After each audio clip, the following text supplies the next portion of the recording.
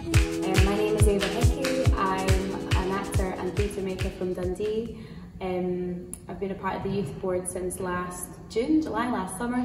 um, and we've been meeting online uh, kind of weekly on Zoom uh, to talk about, to, to, to, as part of like a dramaturgical process and getting to know each other and getting to know um, as part of the Positive Stories Wonder Fools project and, and kind of learning how to, to be a dramaturg in, in some ways and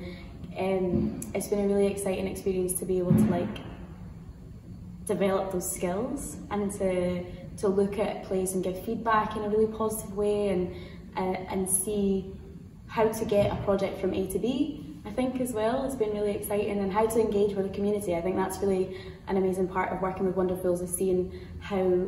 um, as a theatre, Scottish theatre community how can we engage outwardly and how can we um, yeah make a difference in that way? And I think that's been really exciting to be a part of. Um, and now we're working on a, our own project um, and we're doing one of the positive stories